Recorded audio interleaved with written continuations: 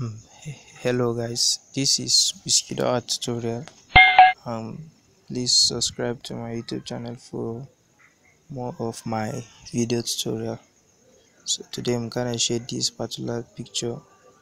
Pick your um, base color. You pick your brush medium brush. Apply the um, your base color. Make sure you apply it very well base color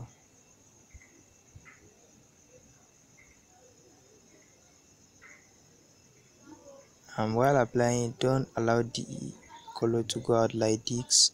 Just make sure that um, you just apply the base color within the sketch. Don't allow the color combo to go outside the sketch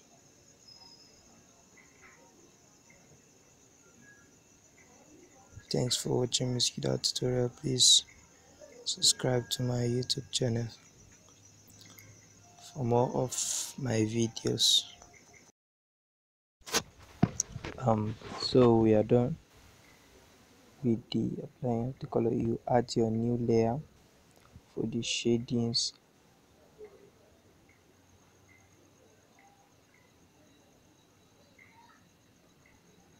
You pick your color this very second color.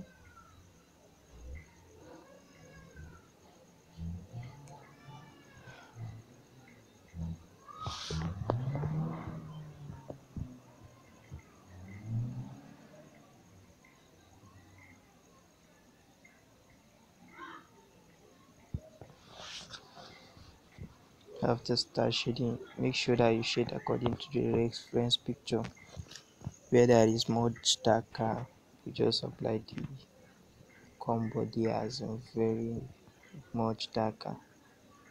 So i don't have the specific size or opacity of the uh, of my brush but you should just be increasing the size according to where you're shading and the opacity.